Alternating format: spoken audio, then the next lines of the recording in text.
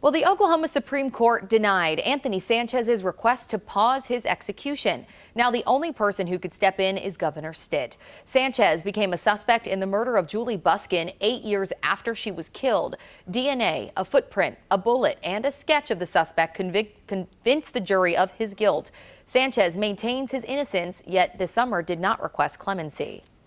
And he felt like it wasn't going to be fair. He would rather die standing for his innocence than on his knees begging for clemency. Sanchez is set to be executed at the state penitentiary this morning.